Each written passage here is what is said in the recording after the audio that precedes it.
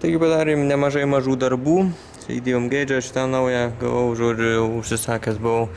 Senas toks biškiai prūdėjęs ir stringantis šiek tiek. Toliau purkštukus susidėjom tos, kur nusipirkom kitus patikrintus tikrai gerus.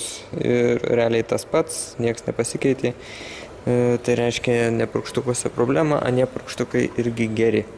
Tai kitas dalykas dabar įsidėjom lemdo zondą, pasijungėm viską prie variklio, bet pajungus galima sakyti, dar blogiau. Jisai, žodžiu, nu, ten per kompą žiūrėjau, tos, kaip rodo ten kokie mišiniai, ką jisai mixture control, žodžiu, nu, ką jisai ten tą, žodžiu, mišinį reguliuojasi pagal zondą. Tai kažkaip, žodžiu, gaunasi, kad šitam varikliui biški kitaip reikia jam reguliuoti, nes jis labai jautriai reaguoja. Kaip rodau, kur biški jau įriebėja pusę, tai, tai dirba neblogai. O kai jisai rodo, kad nusiliesina, tai tada jau, nu, biški nusiliesina, tada jau jam taip nelabai patinka varikliui ir jis taip nu, nelabai gražiai dirba. Tai vien žodžiu, o kadangi tas variklio kompas pastoviai jis ieško to aukso vidurio ir jisai į riebėją pusę į riebėją įliesąją, tai tas variklis ir taip ir dirba, kad jisai taip normaliai, paskui vėl normaliai ir vėl, va toksai va pastoviai, ypač šaltas. Tai ten žodžiu, nežinau, ką čia su tuo reiks daryti, bet aišku, kaip sakiau, variantas yra programuojamas variklio kompas, ko aš blemba nenoriu, nes, žodžiu, užknisa vėl reikia čia jungti, programuoti ir panašiai ir kompą panaudoti. Bandžiau čia kažką tai srauto matuoklę pareguliuoti šiek tiek į vieną į kitą pusę, žodžiu, pasakinėti, ar kažkas gal geriau. A, tiesa, dar kai staigiai gazų duodi, tai jis irgi taip nesureaguojas. Žodžiu, nestebuklingai sureaguoja, kai staigiai duodi gazų, tas irgi užknisa. Ir tas automatoklę reguliuojant bandžiau atgaudyti kažką gal geriau, bus padėtis, kokia niekas negerėja. Nu, realiai gaunasi, tu pasukis automatoklę, tada pamato variklio kompas per pagal lambda zondą, kad mišiniai negeri, jisai pataiso mišinius, bet, žodžiu, pataiso, nu, jau dirba vėl kaip ir normaliai, nes kaip pasakys, tai biškiai lievai, tai išsilygina ir vėl, žodžiu, nu, gazuojant vis tiek nieko geriau nėra. Esmė, kad jo, su šitų nelabai ką mes čia padarysim. Žodžiu, iš esmės nežinau, kas yra, dėl ko, va, jisai tau gazos taigi nepriima. Dėsim dabar dar sportyvnąją oro filtras, kurį nusipirkom Pepper Cross firmos. Šiaip tai, vad kas man keiščiausia, kad tas, kai buvo 2.7 variklis, kur kai pirkom šitą mašiną, tai, tai su juo, nu, ta prasme, ir gazavosi, viskas normaliai, ten priėmė gazą ir šaltas, ir šiltas, puikiai dirbu. Aš nusiprantu, šitas, nu, tai čia gerai, kit, kitoks tas variklis jau gavosi toksai, bet vis tiek modintas ir, žodžiu, nu, žodžiu, esmė, kad vat, man keista, kad ant to buvo labai neblogai, tvarkingai dirbu, o ant šito jisai kažkaip nestebuklingai. Tai, nu, vien žodžiu kažką tai vis tiek išmastysim, sugalvosim, įmetam filtriuką, pažiūrim, gal netyčia pagerės, nes anam buvo sportinis irgi filtras įdėtas kaip ir kol mašina, tai šiek tiek pralaidumas oro, koksai ten, nežinau, gal srautų matuokliai reaguoja staigiau, labiau jautriau, Nežinau, čia aišku 0,1 procentų, kad gali padėti, bet vis tiek įdėkim, bet kokiu atveju, nes pralaidesnis filtras nepamaišys. Taip pat manau, kad pasidarysim čia tą plokštelę, nusipirkau čia to nerūdinčio plieno skardos ir kad visi šitie reikalai atsistotų į vietas normaliai, tiek filtro dėžė, tiek šitas gaidžiukas ir įlinėta. Tai va darėm, darėm tą kronšteiniuką ir padarėm tokį labai paprastą, bet žodžiu puikiai čia tinka. Susideda, filtradėžiai prisitvirtina, ir šita saugiklinė taip pat, tiksliau rėlinė. Čia užsimauna rėlinė tvarkingai, čia dar tokį padarėm įkritimą, kuris gavosi geriau negu galėjau tikėtis. Tiesiog taip prasiplėtėm biškį varstotą, įdėjom čia ir ant viršaus uždėjom šitą špilkutę, o per tą špilkutę su plaktuku kalim. Ir gavosi toksai įdubimas, kuris žymiai sutvirtina, nu, būtent va šitą vietą, kad čia nesilankstytų per čia kai tas užsidės rėlės ir kad jos ne, nedarytų wiggle wiggle. Labai esu patenkintas šitų reikalų, čia kadangi nerodėjantis plienas, tai net nedažysiu, tik tai su švitriniu, o taip paralaikiau, kad toksai brašt gavosi. Finalinis rezultatas toksai, vat. Matosi, kad ne originalas, bet, žodžiu, funkciją atlieka ir nieko čia kraupaus. Tai, žodžiu, sakyčiau, labai neblogai čia viskas. Bet čia prie to zondų nebloga lentelė tokia buvo, čia vat, skirtingų mašinų būna lemtų zondų laidai, skirtingų spalvų, tai va, pavyzdžiui, Belmo būna baltas baltas, tai yra pašildymas, jie nesvarbu kaip pajungsi, ar taip ar taip vis tiek bus gerai. Toliau juodas, tai signalinis, taip sakant, išeinantis jau ten į tą kompą ir rudas minusas. Nu tai minusas eina į kėbulą realiai. arba gali tiesiai į kompą, nu, iš esmės tas pats. Tai būna kai kurie, pavyzdžiui, zondai trijų laidų, tai skiriasi tik tiek, kad nėra šito minusinio laido ir tas minu, jisai minusą gauna per išmetimo vamzdį. O visa kita tas pats, reiškia su pašildymu du laidai ir vienas signalu. O vieno laido tai aišku tik signalinis, be jokių pašildymų, reiškia nuo išmetimo, nuo, nuo variklio išmetimo dujų jisai pakaista ir tada pradeda veikti. Su pašildymu žymiai greičiau pradeda veikti. Taigi nusprendžiau, kad reikia pamodinti tą vairo sistemą, kolonėlę tiksliau. Nu, iš esmės čia pasimodins dar keli dalykai iš karto su vairu susiję. Tai pirmas dalykas tai, kad pakelt vairo kolonėlę aukščiau. Sakant, kai jinai bus aukščiau, tai tada mums, nu, iš tikrųjų pagrindė dėl šitos vietos, kad nebūtų jinai žemai ir... Nes dabar jinai pati žemiausia vieta ir labai smagiai kabina viską, žodžiu. O kai jinai pakils, tai bus va, žymiai tvarkingiau. Aišku, pasikeis biški geometrija, bet žiūrint pagal šakę, tai čia viskas turėtų būti dar geriau negu buvo. Nes, nu, čia šiaip kalnėlį yra ne 30, o E36, už tai jinai taip ir vaikščioja. Reikia šaibą padėti, jinai buvo iš viršaus šaibą, dabar iš apačios padarysim. Ir žodžiu, ką dabar dar reikia pamodinti tuo pačiu, tai šitą vat traukutę e, vairo, žodžiu, tą pačią, tai kad ją sutrumpint, nu, iš esmės galima nebūtų trumpint, kaip čia viską užtektų, tik tai užtektų patrumpinti vairo koronėjus tą štokiuką šitą, kur išlindęs, kad jis neatsiremtų į kryžmę. Bet aš šitą ar pamodinsiu kartu, nes čia yra atguma. Ir toksai žodžiu, kaip nuplaukiuojantį vairo sistemą, tai tokia yra, gaunasi čia yra. Tai daug kas iš tikrųjų šalina ją, tai aš irgi pašalinsiu ir šiek tiek dar susispaus čia gausis. Nereiks man trumpinti už tokiuku. Turėtų čia pavykti neišėmus kalnėlės, kadangi čia jos laisvumo dar nemažai yra. Tai žodžiu, dabar tą ir darysim. Tai va, tai išoperavom biškį brutaliai, žodžiu, čia neišėjo, nu, neužteko tiesiog čia įgaus nei iš čia išmaut, nei iš ten išmaut. Tai žodžiu, čia sugadinau šitą visą gumą, supjauščiau, nu, dabar aišku jau negrįžtama jau, jeigu, jeigu nieko nesigaus, tai tada sėdėsiu ant taburetės ir galvosiu, ką daryti. Tai va, tai dabar nupjaunam visas šitas špilkas kaip šitą, iškalam likučius ir žiūrėsim, kaip čia toliau kas.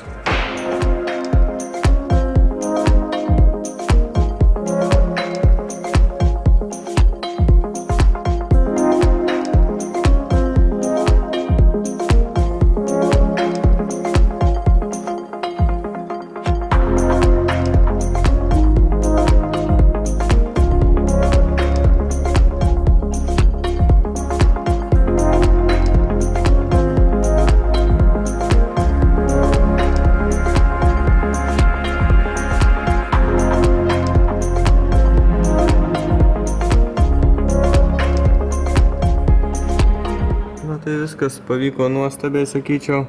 Čia dar liko, žodžiu, kai varščiukas čia kišasi, turi persikišti. Jisai šiek tiek, nu, tokia įpjova būna vienoje vietoje ant, ant vairo kolonėlės to, to, to štoko. Tai žodžiu, tos, ta įpjova dabar gaunasi aukščiau ir neišeina varščiuko perkišti. Nu, tai žodžiu, tiesiog mes paimsim su graštu, čia aštuonių turbūt, su graštu tai pereisim, tiesiog įsipjaus kiek reikia ir tada varštas įsikiš laisviausiai, tvarkingiausiai. Ir taip sakant, naują įpjovą padarysim. Toliau čia viskas susidėjo viršui ten, aišku, gerai, taip kaip ir prieš tai. Čia vairo kolonėlė labai tvarkingai du šaibus, tiksliau, nu, žodžiu, pasidėjo apačioj, pakilo kolonėlė, viskas čia visur vietos yra, aišku, jeigu čia šaibų nebūtumėm dėję po variklio pagalėjim, tai greičiausiai nebūtų vietos, bet dabar yra. Ir manau, kad viskas čia ok. Šiaip blogiausiu atveju, jeigu ką, tai padėsim, nu, tiksliau, per, nu, pakeisim reikalą, kad čia bus biški plonesnė šaiba, viršui bus e, plonytė, kad taip sakant, biški žemyn paleisti vairo kolonėlę, jeigu čia bus problemų, kad lies karteris vairo kolonėlę. Aš taip įtariu, kad nelies. Žodžiu, kai sukilo, tai aišku, ratai pasitempė, šitai pasivertė ir galim puikiai matyti, kad taip sakant, nu, žodžiu, kai jau galinis ratas sutampa, tai čia biški pasisukęs Tai žodžiu, čia iš akies pataisysim, kad iki technikinės, kai reiks varyti. Dar vienas dalykas, kai pasikėlė į kalonėlę, tai žiūriu, kad čia, man atrodo, žymiai geriau dabar negu kaip buvo. Nes čia gaunasi kaip tas va toks kampas išlink, nu, ta prasme pasvirimas. Ir vairo svirties irgi lygiai toks pat pasvirimas. Nu, praktiškai identiškas. O pirmai buvo šitaip, nu, ta prasme, jisai mažesnis pasvirimas, o šakės didesnis. Tai, taip sakant, per duobės vairas, biški, nu, taip sakant, ratai jau taip sukiojasi biški štai kad skiriasi tas pasvirimas. Tai žodžiu, manau, kad čia bus labai gerai ir čia žiūrėjau oboliukas ties tą vietą, va, gaunasi vyro kalnėlis, ties, tas, ties tą pačią šarnyras. Nu, vien žodžiu, labai čia viskas kažkaip fainai gaunasi, bent jau mano akim.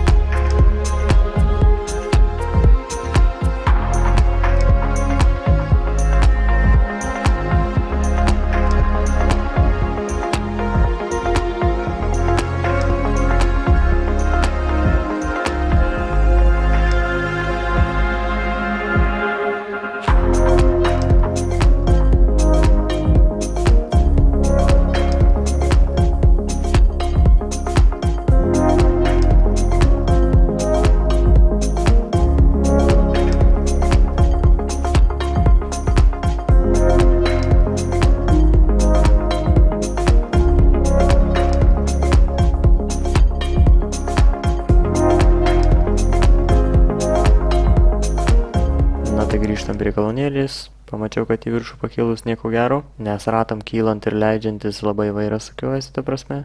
Tas vadinamas bump steer. Ir su forumiečių pagalba įsiaiškinom, kad žodžiu ta vairo kolonėlė pagal mane geriausia būtų kaip M3 E30 buvo. Tai čia gaunasi apačioje dvi šaibos, tai yra 4 mm, o viršui 5 šaibos, tai yra 10 mm. Na ir viską surinkus, taip galim pasitikrinti, ant pakeltos mašinos ratai tiesiai vizualiai, nuleidžia mašiną ir praktiškai lygiai taip pat tiesiai stovi kaip ir stovėjo. O prieš tai buvo pavyzdžiui, jeigu sureguliuojant stovinčios normaliai, o pakeli mašiną ir ratai susisuka į vidų. Nepyk starletas, bet biški reikia man benzo iš tavęs pasiskolinti, kadangi su 30 nelabai dar galim į kalankę važiuoti. Tai taip sakant, užsipilam benzo dabar per grįžtamą nuo starleto ir mum pildo kuro baką, 30 žodžiu, viskas labai fainai. Kadangi variklis ant laisvų tikrai daug nenaudoja kuro ir šiaip visada kažkiek grįžta kuro per grįžtamą, tai vat kokius, nežinau, 6 litrus tai tikrai jau išvarėm, nes buvau beveik pilnas.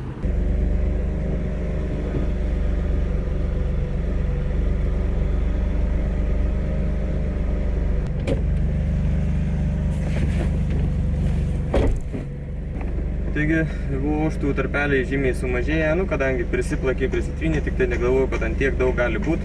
Ir dabar žymiai gražiau dirba, tiksliau sakant, taktiškai idealiai. Tai viskas kaip ir gerai, tik tai iš dėžės, man atrodo, garsiukas kažkoks tai atsiradęs. Kai visada kažko tai vieno nekeiti, ne, neperinki ir turi tas pareit šaibum, nors toks dalykas, nu žodžiu, nežinau, gal ir ne šaibum, nu esmė, kad toks garsiukas yra, nežinau dar ant kurių bėgių, bet ant pirmo pastebėjau, kad yra. Tai žiūrim, kaip bus, susidėsim detonacinės ausinės mano gam- gamybos. Pažiūrėsim, ar nedetonuoja variklis, kas svarbiausia yra. Ir viskas, pralėksim lengvai.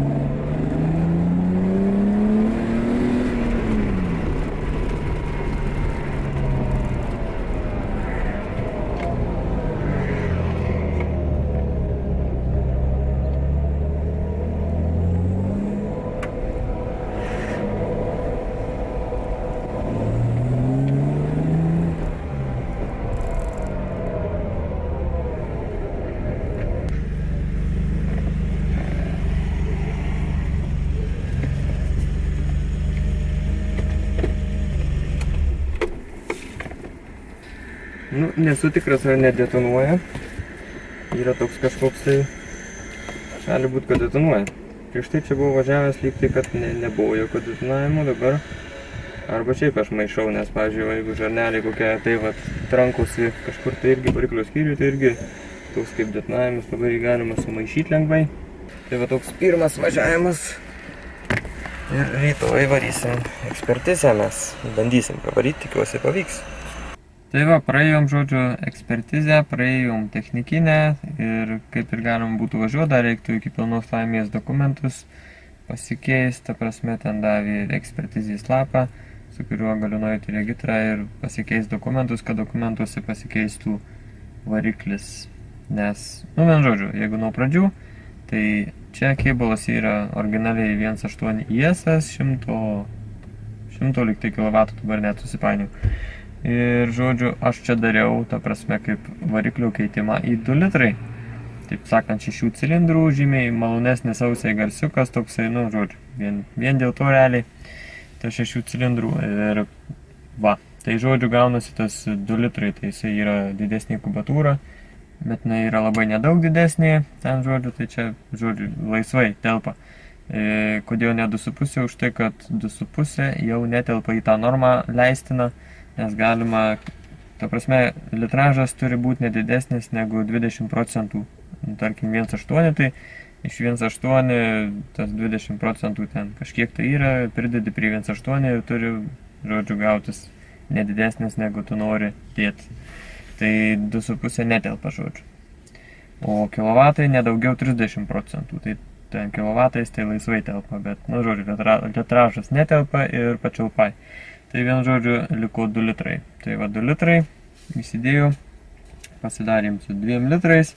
Ir vien žodžiu, jeigu taip normaliau paaiškinus, tai kad taip variklį pakeisti legaliai, kad neknistų protų ten technikiniai ir, nu, ta prasme, kad mes galėtume praeiti technikinę, kad policija sustabdžius neatimtų jum ten teisių ar ten, žodžiu, kad ir kokie ten tie įstatymai, tai esmė, kad viskas būtų legalu, tai reikia, kai variklį pasikeitė į kitokį, reikia padaryti daryti ekspertizę. Tai va, jeigu atitinka, kad pakeistas variklis nedaugiau 20 procentų yra litražas didesnis arba gali būti ir mažesnis, e, ir gale nedaugiau 30 procentų didesnį arba gali būti ir mažesnį, Ir tada toliau reikalavimai, tai turi būti to variklio pirkimo sąskaita faktūra.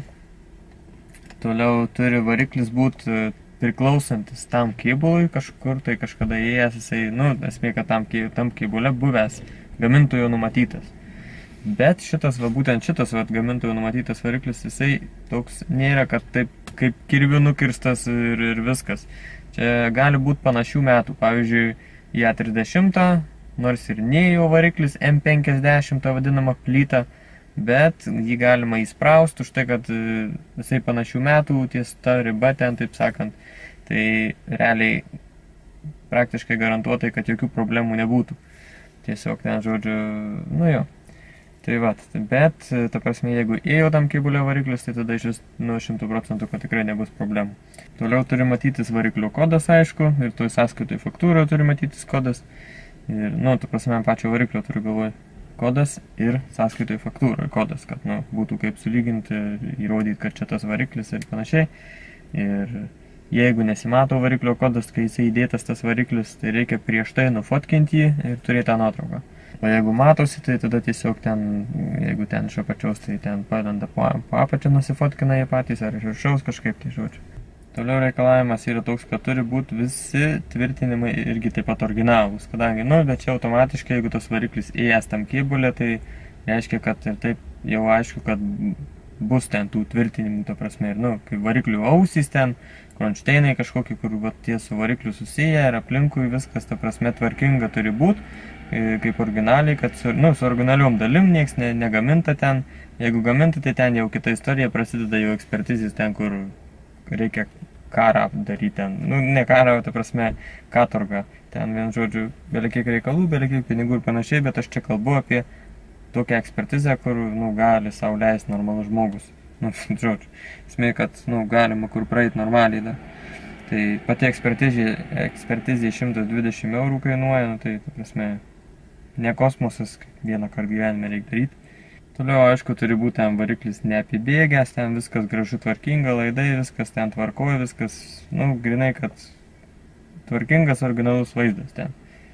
Ten, kaip sakiau, ir jeigu, kad ir nepriklausantis tas variklis, pavyzdžiui, M50 įdedi į tą 30, tai turi būti vėlgi, nu, su provotkis viskas varikliausis, irgi turi būti originalas, viskas originalas ir kadangi mes žinom, nu, kas žinom, kas nežinom, tai yra tinkančios, nu, vat, nuo kažkokio modelio ten užsideda ausys variklių, nuo kito modelio užsideda dar kažkas ir tai vat, susideda originalios BMW dalys ir taip pukštai įsideda tas variklis į E30 be jokių perdarimų ten. Tai kadangi taip išeina, tai už tai va ta ekspertizė gali būti praeita ir su nepriklausančiu varikliu E30. Tai, tai va tai va, žodžiu. Svarbiausia yra va tas, kad būtų originalumas, tvarkingumas, viskas ten gražu. Nu, žodžiu, su tais visais ten dokumentais, va tais reikalais mes jau kaip pasiruošę, nuvarom tą mašiną, į ekspertizių tą kambariuką nueini ten, supranti, viską susižiūri dokumentus, susiskaičiuoja, ar litražai neviršyje ir gale neviršyje ir panašiai ten tie visi dalykai, ten kuras nesikeičia, nes negali kuros keistis, kuro rūšis. Beje, greičių dėžė, pavyzdžiui, greičių dėžė yra rekomenduojama keis, bet nėra būtina, lygiai tas pats su stabdžiais yra rekomenduojama, bet nebūtina, nu, atėjo visi aplinkui kai jau tinka visi dokumentai, viską susitvarkom, suprantate, ten apžiūri mašiną iš pradžių taip, apsifotkina, kaip atrodo po variklių gaubtų, pačią mašiną pafotkina, ta prasme, kad duomenų bazėje turėtų. Ir tada, nu tai šiuo atveju ten žiūrėjau tą variklio kodą, reikės po apačią, tai užsivarė ant keltuvų, šiaip gal net nebūtų kėlę tos mašinos. Nu ir aišku, perėjau dar pažiūrėjau visus mazgus, ten reduktoriai, kardanai, pusačiai, kad viskas vietoj gražu tvarkinga, stabdžiai ir taip toliau. Bet čia ne technikinė, čia yra tik tai ekspertizė. Tai va tą ekspertizę aš tavo susižiūriu, viskas tinka jeigu, tada reiškia patvirtina tą ekspertizę, ten per valandą laiką kažkur sutvarko tą visą dokumentą ir mes gaunam tą ekspertizijos lapą. Tada su tuo einam į technikinę. Technikinė tai čia ir taip aišku, kas ten vyksta, kaip ten kas, praeinam technikinę ir tada turim technikinės lapą ir ekspertizijos lapą. Nu ir aišku mūsų originalų dokumentą su senu varikliu. Ir tada, kad pilnai pasidaryti jau tą registraciją, kadangi mūsų ekspertizės lapas galioja tik metus, tai reikia, žodžiu, nu, esmė, kad geriausiai greičiau gal, nes ten neaišku, kaip ten, kiek ten kas galioja realiai, tai, žodžiu, su, tuo, su tais va technikinė, ekspertizės lapus, senų dokumentų, einam į regitrą, pasikeičiam į naują mūsų dokumentą, kuriam jau bus naujas variklis, naujas variklio kodas. Ir viskas. Tai jau sakyčiau, tikrai nėra kažkoks baisiai sudėtingas reikalas. Ir manau, kad kai kam tikrai pravers, kas nori tvarkingai, žodžiu, pasidaryti taip, kad rame galva galėtų važinėti ir varyti visokias technikinės ir rodyti ten visiems, ta prasme, nu, tipo, kad nebijot, kad čia, oi, čia pamatys kažkas kažką, tai čia užklius sakys, kas čia. Ir va, žodžiu, taip. Na, esmė, kad jo, viską praėjom, viskas tvarkoj. Tai tik dabar kokie bairiai, kokie dar mum išlindo reikaliukai. Tai vienas dalykas reduktorius, mum jį perinko, žodžiu, pilnai naujai guolius pakeitė, viską ten salnikus, viskas naujas reduktorius, bet jisai kaukia kaip šuva ir leidžia velino riebokšlis. Vien žodžiu, čia kaip mano stiliui, viskas tengiasi darai gerai ten, kuo geriau ir panašiai, bet nesigauna kažkas tai kažkodėl tais Neaišku kodėl, neaišku kaip kas kur. Tas, kas perinkinėjau, žinau, kad šimtų procentų, kad yra tikrai geras žmogus, to prasme meistras, tikrai nusimano, ką daro, daro va tiek va ten ir sportui, ir nesportui ir taip toliau. Ir tuo labiau dar tas blogumas, kad čia prieš du metus gal ten ar kiek čia, ar gal prieš 300 reduktorius man perinkinėjau. Tai žodžiu, susiskambino, bet tai sakė atvežti ten, pažiūrėsim, kas ten negerai, žodžiu. Nesmė, kad bet kokiu atveju reiksim, nu, žodžiu, tokia vat nesėkmė. Toliau dar vienas kažkoks neaiškus dalykas. Šiaip sakyčiau aiškus, kad greičių dėžiai užė, gal irgi koksai velė nuoguolis bet ten palyginus nedaug, nu, ta prasme, tiesiog kaip, sakykim, tų metų mašinai gal visai ir dažnas pasteikantis reikalas, bet ten turėtų dar tikrai važiuoti dėl to ir tuo labiau, kad aš tą greičių dėžę keisiu į šešių bėgių, tik tai guli garažė ir aš pirmiau norėjau viską tvarkingai susitvarkyti taip, kaip yra, kad žinau, kad veiks. Ir žodžiu, va taip dabar kaip pravariau, tai gal kitais metais ir kada mes čia užsipulsim tą šešių bėgių dėžę įdėti, kadangi ir tas reduktorius yra perdavimas padarytas tai šešių bėgių dėžiai, ir dabar ant šitos penkių bėgių dėžės yra ilgi bėgiai, ilgesni negu turėtų būti, taip, taip sakant, praščiau rauna mašina, tai jo, šita dėžė turėtų smagiau važiuoti ir šeštas bėgis, pukštis jungia, kruizinis autostrada, kūro sąnaudos ten kokie 5 litrai 100 km. Na ir kokie dar čia niuansai. Nes visada kažkokiu būna niuansų. Niekad nė, nėra taip, kad viskas kaip ir sviesta. Nu, būna vienas ten atvejais per 5 metus kad kažkas tai pavyksta taip, kaip planuoji, bet dažniausiai net, čia kaip ir sakiau, va, čia per porą dienų pasidarai, o žiūriu, kad porą savaičių ir pasidarai, dar šiaip netaip su visokom duobėm. Tai va, bet yra kaip yra, viskas juda į priekį, žiūriu normaliai. L judam link finišo.